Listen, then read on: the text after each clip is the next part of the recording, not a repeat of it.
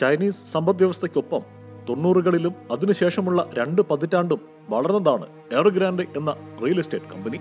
രക്ഷിക്കാൻ കഴിയുന്നതിനപ്പുറം ബാധ്യതയുടെ പടുകുഴിയിലാണ് എവർഗ്രാൻഡ് ഇതറിഞ്ഞതോടെ എല്ലാവരും കൈയൊഴിയുകയാണ്.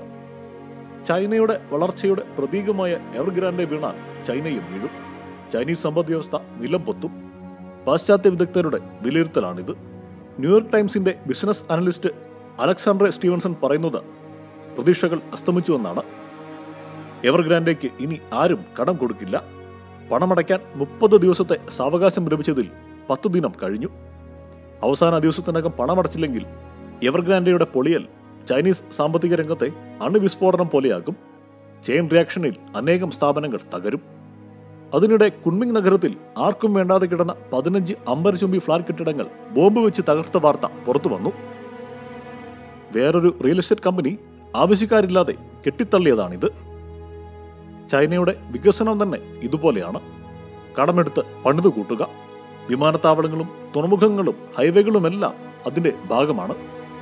ആവശ്യമുണ്ടോ എന്ന് നോക്കിയിട്ടല്ല മിക്കതിന്റെയും പണി. ചൈനയിലാകെ അഞ്ച് കോടി പാർപ്പിടങ്ങൾ നിർമ്മിച്ചതിനു ശേഷം വാങ്ങാനാളില്ലാതെ കിടക്കുകയാണ്. പത്ത് കോടി പേർക്കെങ്കിലും അവിടെ ജീവിക്കാം.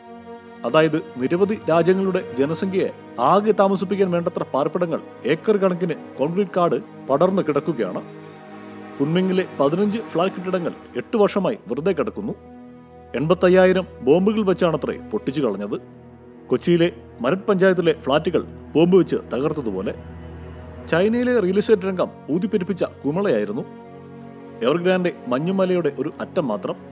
നൂറ്റി എഴുപത്തൊന്ന് ബാങ്കുകളിൽ നിന്ന് കടമെടുത്തിട്ടുണ്ട് എവർഗ്രാൻഡ്. നൂറ്റി ഇരുപത്തൊന്ന് ധനകാര്യ സ്ഥാപനങ്ങളിൽ നിന്നും വായ്പയും എടുത്തിട്ടുണ്ട്.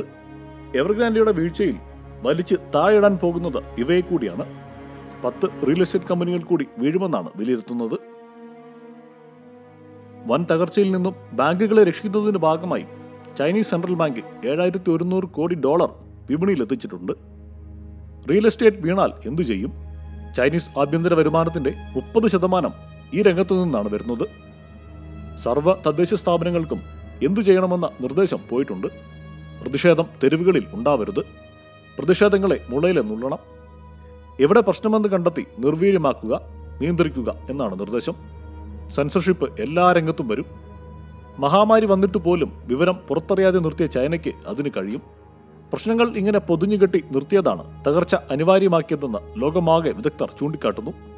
പത്തു വർഷം മുൻപേ എവർഗ്രാൻഡ് പൊളിഞ്ഞിരുന്നെങ്കിൽ അഥവാ കടം കൊടുക്കുന്നത് നിർത്തി പൊളിയാൻ അനുവദിച്ചിരുന്നെങ്കിലും ഇത്ര ഗുരുതര സ്ഥിതി വരില്ലായിരുന്നു. ഞങ്ങളുടെ രാജ്യം തകരും. സമ്പദ് വ്യവസ്ഥ അഗ്നിപർവതത്തിന് മുകളിലാണ്. ഏതു നിമിഷവും പൊട്ടിത്തെറിക്കാം. പറയുന്നത് ചൈനീസ് പത്രാധിപരായി വിരമിച്ച ലീ ഗുവാങ് മാൻ ആണ്. ചൈനയുടെ ഇതുവരെ കണ്ട ചാട്ടമൊന്നും ഇനി കാണണമെന്നില്ല. സാമ്പത്തിക കുമള പൊട്ടുന്നത് ലോകത്തെ ആകെ ബാധിക്കും. കുമള പൊട്ടിയാൽ പിന്നെ തായ്വാന്റെ നേരെ ചൈന കാണിക്കുന്ന ചട്ടമ്പിത്തരം അവസാനിക്കും.